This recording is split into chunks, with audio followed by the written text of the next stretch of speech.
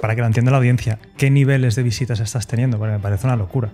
Entre 250 y 500 millones al mes en YouTube. ¿En YouTube? En YouTube. Yo empecé en 2014 y mm, Hostia, hace ya tiempo. Hace ya Sí. más de 10 años casi. hice hace poco nueve años. Espérate, a ver si sé contar. 2014. No, ahora he hecho 10 años, sí. sí, sí, sí. Empecé en, en enero de 2014 y fue por varios motivos. En primer lugar, a mí la creación de contenido desde pequeño siempre me había gustado. Era muy friki de el cine, me pillaba mi cámara analógica, había hecho incluso stop motion en mi casa con plastilina. Y pues a nivel creativo me, me llamaba muchísimo y vi en YouTube una forma de, de poder llegar a gente, ¿no? De forma prácticamente gratuita y con ideas que no tuvieran que pasar por ningún filtro, ¿no? Eso me, me gustó mucho. Luego también a nivel científico veía que en los medios tradicionales no había apenas divulgación de ningún tipo, cosa que a mí como persona que disfrutaba mucho de este tipo de contenido, pues me apenaba bastante y a la vez lo veía como una oportunidad de crear algo nuevo. Y dije, bueno, pues puedes hacerlo tú. Y el impulso final fue el ver que había otros canales en el mundo inglés que ya estaban empezando a hacer divulgación en este medio, principalmente Visos, que fue uno de mis mayores um, inspiradores.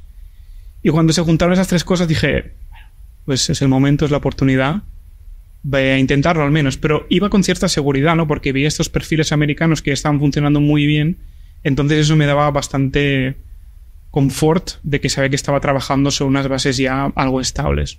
Y eso facilitó mm, decisiones e incluso a nivel de moral mía, pues me ayudaba bastante porque sabía que estaba caminando sobre un camino relativamente seguro. Qué guay. Tú me, me flipa porque siento que has contado mi historia. ¿Sí? O sea, de pronto, sí, sí, o sea, es, es que es el mismo camino. O sea, yo empecé haciendo vídeos eh, por mi cuenta, por diversión, pues a, a mis novias. Cuando me iba de viaje con amigos, luego yo hacía un vídeo del viaje como muy editado. Y también con stop motion también y con cosas con... O sea, tenía un peluche en mi cuarto, lo metía como personaje en el vídeo, ¿sabes? O sea, me obsesionaba eso. Luego me flipaba explicar. Yo era el típico que si alguien no entendía algo en clase y quería que alguien se lo explicara, a mí me, me fascina. Me encanta explicar, me encanta coger una pizarra, intentar. Porque yo explicando las cosas es como realmente las, las termino de entender, ¿no?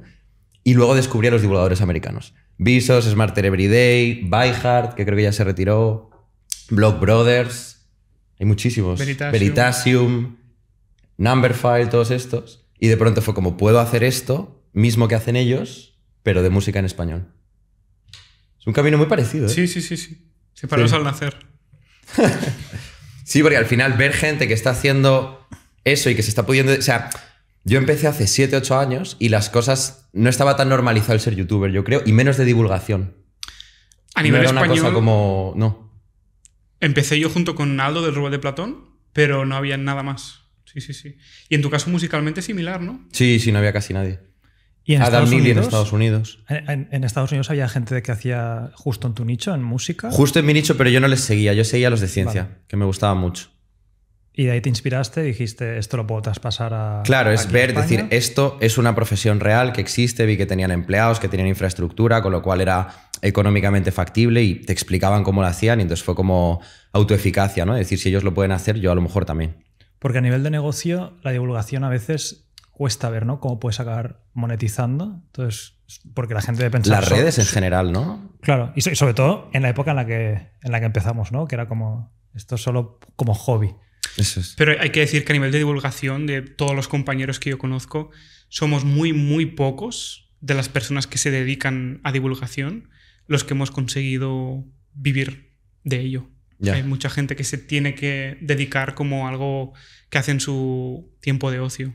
Pero, por ejemplo, Jaime, antes com- me- bueno, comentabas que tú ya viste el plan claro a. No, es que sé los pasos, por lo que has visto los americanos, para acabar viviendo de ello, teniendo estructura, Claro, que es muy bestia ya. Es decir, no era solo un hobby, sino que de esto puedo llegar a vivir. una rama más, una profesión más de salidas de la música, resulta que una podía ser divulgar, que sería inesperado, porque a mí mucha gente me pregunta, yo le digo, soy youtuber, y me dice, "¿Y ¿cómo ganas dinero? Te paga YouTube, te pagan las marcas, te paga tal, es como que hay un desconocimiento total, ¿no? Y esta gente te explicaba, no, mira, nosotros tenemos el AdSense, que son los vídeos que aparecen delante, o sea, los anuncios antes de los vídeos. Luego colaboramos con marcas, luego vendemos merch, sacamos tanto de aquí, tanto de aquí, tanto de aquí. Y echabas cuentas y decías, ah, claro, o sea, hay como un, ¿no? Como que si tú tienes un restaurante y dices, vale, entiendo en qué momento la gente paga, que es cuando ya ha Claro. consumido la comida. Pero cuando tú ves YouTube dices, ¿en qué momento la gente paga? ¿Es antes de ver el vídeo? ¿Es después? ¿Es el Patreon? ¿Es el no sé qué? Nadie tiene muy claro cómo funciona, ¿no? No sé si os pasa a vosotros, pero yo que vengo del mundo de los videojuegos, recuerdo que cuando empecé a subir videojuegos, muchos críticos en aquel momento, que se tenían las revistas de videojuegos y luego posteriormente las webs, nos criticaban mucho y nos ponían como la zancadilla de estos youtubers que no saben nada, yo tengo el juego una semana antes, lo puedo jugar durante un montón de tiempo y hago una review porque yo soy periodista y os lo puedo poner todo. Y este chaval que está aquí subiendo vídeos y juega 15 minutos, le ve no sé cuánta gente, pero eso no es, no están enseñando un juego de verdad. Y la publicidad nos la pagaban de forma igual. Incluso a nosotros más porque teníamos más visitas. ¿A vosotros os pasó esto? Es decir, ¿os pusieron como palos en las ruedas dentro de vuestros sectores de música o divulgación Sí, científica? Sí. algunas veces se ha criticado la intrusión laboral incluso. Em, no demasiado, debo decir. Al menos que me ha llegado a mí, por supuesto. Pero, mm, claro, es que en mi caso yo empecé con 18 años. Aún no había ni terminado mi carrera. Por lo que no se me veía ni como profesional ni en mi campo, que es la geología, ¿no? Que luego nunca terminé mi carrera, ¿no? Por, por varias condiciones. Pero es como que no estaba ni en edad de ser criticable porque aún no había tenido ni tiempo de sacarme el título. Y a lo mejor se me perdonó un poco por eso, no lo sé. ¿Me ha pasado? Sí, me ha pasado. Em, pero trato de verlo como algo bastante marginal y al final la gente lo que valora, siento yo, es la honestidad en el contenido, ver que tú pongas las referencias correctas y con el tiempo irte ganando la confianza de la gente. Y la mayoría de la gente lo sabe, ve que tú haces un contenido sincero, con una investigación detrás correcta y te ganas una marca, una confianza de que el trabajo que haces es igual de válido que el de cualquier profesional, porque al final, y esto es una opinión personal mía, pues siento que en casos concretos como el de la divulgación, una persona que se haya ganado el respeto de la gente porque ha desarrollado una metodología correcta de análisis, de estudio y de rigor, pues puede actuar igual de profesional que otras personas, ¿no? Sí. Ujú. Sí, Yo, yo creo que lo, que lo que ha pasado de pronto es que o sea, Internet, el poder tener vídeo en el bolsillo, ¿no? la mezcla del smartphone más el streaming, más YouTube, más todo eso, es como una revolución de un, un nuevo medio de comunicar que es nuevo. Entonces de pronto como que está propulsando a todo el mundo que se mete en ese nuevo medio, que aprende las herramientas que son muy fáciles porque es cógete una cámara y empieza a grabar, no necesitas una productora ni nada, te está propulsando a través de los algoritmos a un alcance que es un poco ridículo. Eso es como absurdo, es como decir, 3 millones y medio de seguidores, y dices, eso ni siquiera lo sé concebir, ¿no? Y es desde tu salón. ¿Desde cuándo alguien desde su salón, sin ayuda, sin una distribuidora, sin un nada, que meta unos medios materiales mucho más grandes, puede llegar a tanto, ¿sabes? Entonces de pronto es como, como que, es como si hubiera, si hubiera despresurizado una cabina de aire y entonces todo el aire que estaba compactado estuviera saliendo a toda velocidad y tú de pronto, no sé, vosotros lo habréis vivido, ¿no? Pero estás subiendo un vídeo y no, no tienes fama, no tienes nada y de pronto al día siguiente tienes un millón de visitas. La primera vez que se te hace algo viral, ¿no? Dices, esto es una fuerza de la naturaleza. Es como de pronto estar en una ola que, que no entiendes bien la magnitud, ¿no? Totalmente, porque solo son números. Y no, no sabes exactamente que, bueno, sí, ha habido 100.000 visitas más. Pero cuando lo pones en perspectiva y sobre todo, igual en tu sector de la música, lo que tienes que hacer para llegar a 100.000 personas más explicando música, es que esto se hace en, en clases, en, un conservatorio. O digamos que la, la capacidad física de poder replicar esto no tiene nada que ver. Claro. Está desmaterializado. Y entonces de pronto es escalable a un nivel tremendo. Y ya no eso, que es como. Yo siempre digo que una visita a mí me ha cambiado la vida. Y a veces te vicias a ver un millón de visitas y dices, ¡buah! Solo hacer un millón y medio. Pero piensas que a veces la visita un millón uno, ese uno es un productor musical que a lo mejor acaba siendo tu socio, o tu no sé qué, y dices que el potencial es muchísimo más grande de lo que la gente se cree, ¿no? Y, y luego no solamente eso, sino que también empiezas. Yo creo que el humano no está muy preparado para escuchar tantas voces de gente. O sea, ¿os acordáis de vuestro primer viral? Con la sensación de empezar a escuchar de todo. O sea, yo, mi cerebro era como, no, aún no estoy acostumbrado a ver cientos de comentarios, algunos muy buenos y otro en plan, llevas empañada la gafa en el minuto tal, y es verdad, o no me gusta como dices no sé qué. Entonces, eso también hay que acostumbrarse, ¿no? A, todos esos, esos comentarios. ¿Cómo, ¿Cómo lo llevasteis eso vosotros? Sí, yo creo que al final es como que tienes que separar la adrenalina que te produce ver a alguien insultándote o metiéndose con tu apariencia o con tu manera de hablar o con tu no sé qué, de los números, ¿no? Que es como decir, me han insultado 100 personas y eso está muy bien porque el vídeo tiene 3 millones de visitas, con lo cual el ratio de insultos es bajísimo y seguramente es uno de los vídeos con menos insultos de Internet. Entonces tienes que celebrar las 100 personas que te han insultado de alguna manera, ¿no? Y luego también hay una cosa que es que las críticas, eh, aunque no estén formuladas de manera constructiva, aunque sean como para dar por culo, muchas veces tienen algunas esencias de verdad que son muy importantes, a mí, a mí me resultan importantes como reflexionar sobre ellas para ver si tienen razón o si no. Y entonces yo ahí lo que hago es como que yo en general no leo comentarios más que pues si subo un vídeo al día siguiente me leo los top comments, ¿no? los 100 primeros, a lo mejor los 50 primeros, para estar un poco enterado, pero luego hago un ejercicio de una vez cada X tiempo, cada mes, cada dos meses, hacer un repaso más en profundidad como una especie de evaluación de cómo me ve la gente que ha visto este vídeo, no solo los top comments, ¿no? Sino. Y a veces te encuentras perlas de gente que te da un feedback que es bueno, a veces te lo dan entre insultos, pero el feedback es bueno, a veces no sé qué, y es útil también. Total. Yo contrastaré quizá con que últimamente se ha legitimizado más el trabajo de influencer y puedes obtener bastantes más ingresos a través de campañas con empresas, que sobre todo cuando yo empecé no había. Es decir, costaba muchísimo convencer a una editorial que me pusiera un libro en un vídeo mío o a una app para idiomas que apenas había, por ejemplo. Mientras que ahora siento que las empresas buscan más este tipo de perfiles porque se han dado cuenta de lo útiles que son. Ahora bien, es cierto que se pierde bastante dinero en, los RPMs que ahora son más bajitos. Sí, sí. Pero tú, Martí, en tema vídeo corto, lo estás hiper reventando. Sí. Eh, pero para que lo entienda la audiencia, ¿qué niveles de visitas estás teniendo? Porque me parece una locura. Entre 250 y 500 millones al mes en YouTube. ¿En YouTube? En YouTube. solo, en YouTube. A mí no me sales en YouTube, me sales en TikTok y sobre todo en Instagram. Mm. En Instagram no me miro tanto las analíticas porque Instagram tampoco da dinero. O sea, ah, Jaime ha comentado que da poco dinero, pero hay algunas que dan cero y hay otras que dan un poco. Y mi estrategia es, voy a hacer muchísimas visitas y ese poco ya no es tan poco. Pero Instagram es cero en España. En Estados Unidos hay un programa en Instagram similar al de Facebook, porque Facebook sí da dinero. De hecho, da más que YouTube. Un programa que te permite monetizar los reels en el propio Instagram. En España no. TikTok lo había hasta hace dos meses, aunque era muy pobre. Era bastante menos que YouTube. Y luego tenemos Facebook, que es curioso porque lo estuvimos hablando cuando me ayudaste con eso, Willy. Em, de que te sorprendiste de que yo utilizara Facebook como plataforma para distribuirme contenido.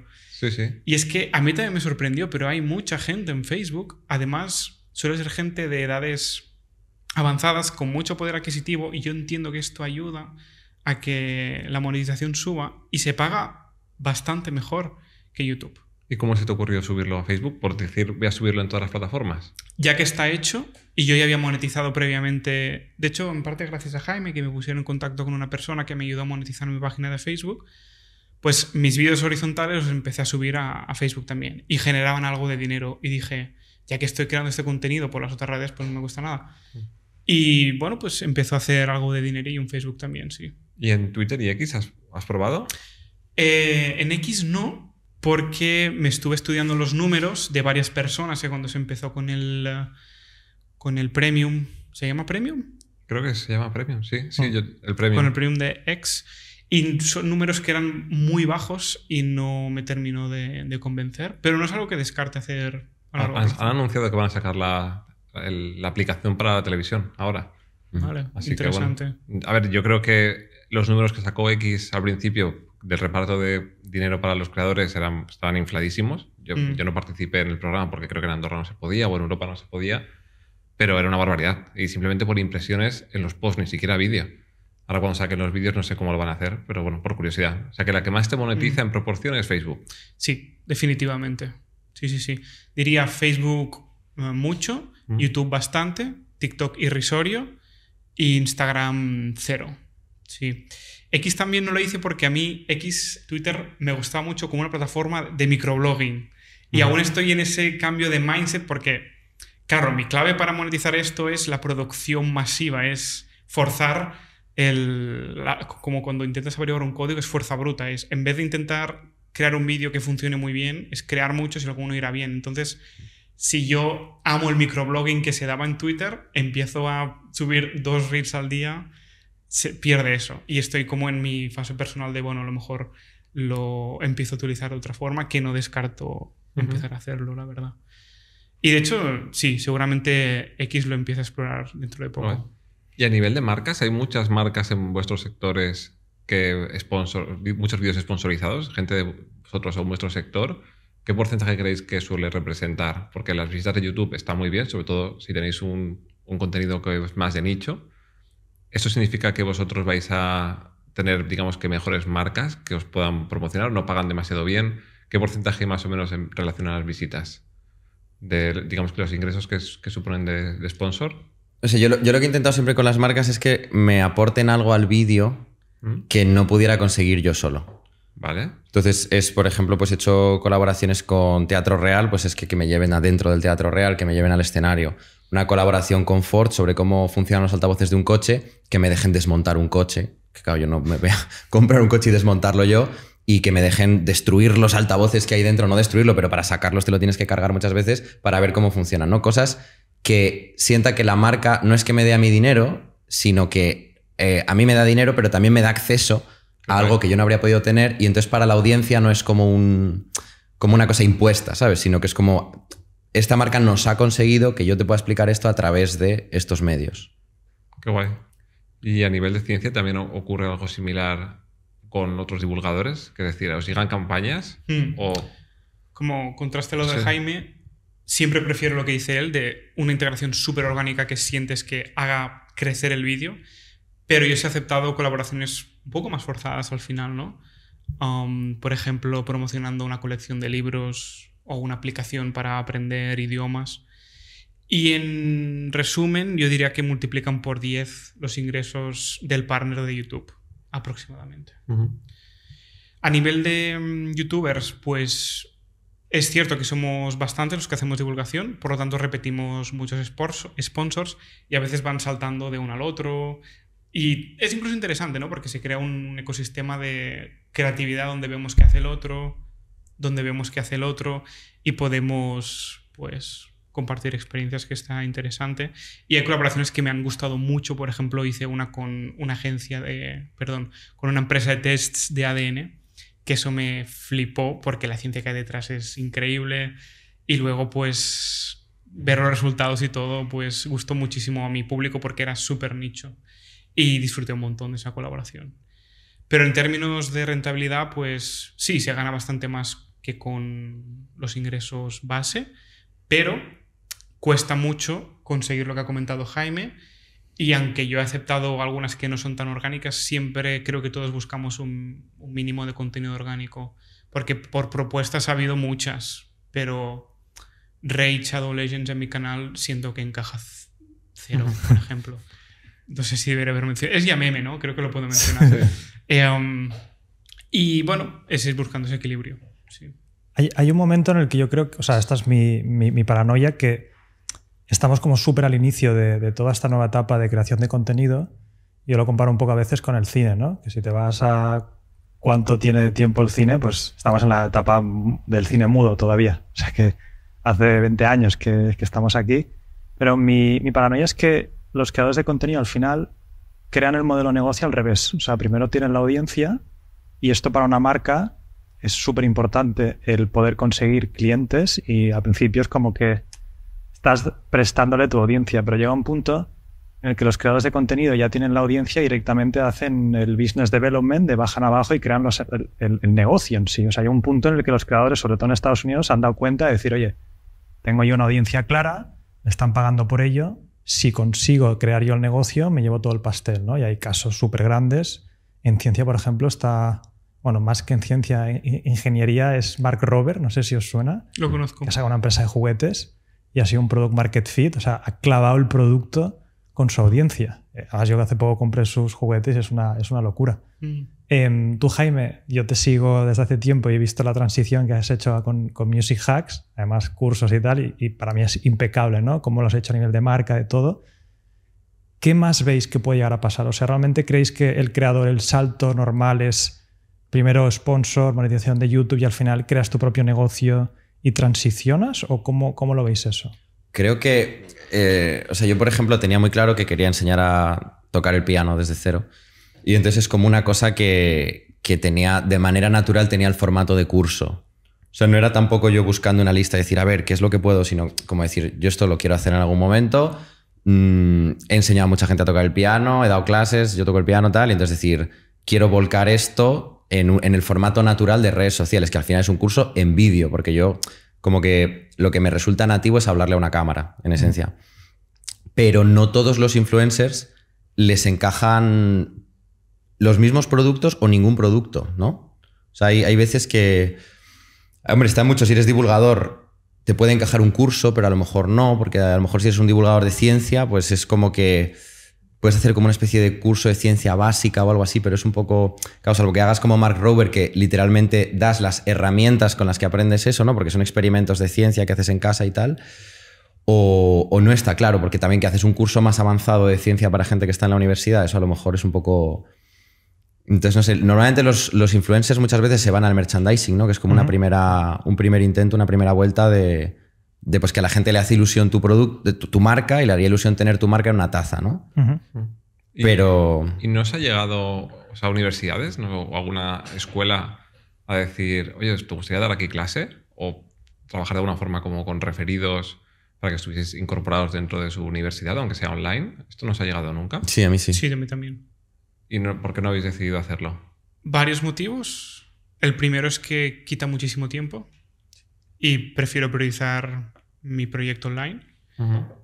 Y también está el tema de que es algo que se relaciona mucho con lo que has comentado al principio de intrusión laboral. Es sencillo ser youtuber y ser divulgador, siento yo, pero a la hora de empezar a ser profesor creo que se genera mucha más fricción con el entorno de trabajo porque estás pasando ya de la pantalla a una clase, aunque también sé por pantalla, pero el contexto es muy distinto y es como que no me apetecía generar tanta fricción en mi vida. Este es mi caso personal, desconozco el de los otros. Sí, yo muchas veces cuando me, me ha llegado alguna oportunidad que digo, esto lo podría hacer en mi canal. Y si es que sí, pues muchas veces digo, no exactamente lo mismo, pero un poco la, la misma esencia, ¿no? Y digo, pues prefiero, prefiero hacerlo en mi canal en esencia, ¿no? Por lo mismo, yo eh, hubo una época en la que probé radio, probé tele, hice varios programas de, de, de, colaborador en algunos sitios, tal, y al final muchas veces me tenía que preparar un guion uh -huh. y decía, este guion lo podría contar yo en mi canal, en vez de ir a contarlo allí. Y en mi canal voy a tener, pues, eh, se me están ocurriendo ideas de cómo editarlo según lo escribo, que va a quedar más, más mí, más yo en mi canal. Y Porque entonces, tú editas final, todo, o sea, haces todo el proceso. Yo, yo tengo editores contratados, pero yo durante los primeros cuatro años lo edité absolutamente todo y luego seguí editando cada vez menos de, lo que grababa, ¿no? Pero al final a mí siempre me ha gustado editar, siempre ha sido la parte en la que las ideas terminaban de aterrizar y yo edito mucho a través de la música. O sea, yo, mi manera de editar es estar horas buscando canciones, normalmente sin copyright para YouTube, ¿no? Que me emocionen, que me flipen, que me hagan que la escena funcione. Y luego una vez que pones la canción ya la escena empieza como a tirar. Qué heavy que lo O sea, normalmente yo cuando editaba buscaba la música para la edición. O sea, tú ya empiezas con la música como, como pilar. Sí, muchas veces sí. Muchas veces estoy escribiendo una escena, eh, un sketch o alguna cosa, y ya sé qué canción querría poner si no tuviera copyright. claro, me lo van a desmonetizar. Entonces ya empiezo a buscar, pues en Epidemics o donde sea, oye, a ver si hay una canción sin copyright, ¿qué tal? Que eso en no mucho tiempo se lo pedirás a una inteligencia artificial.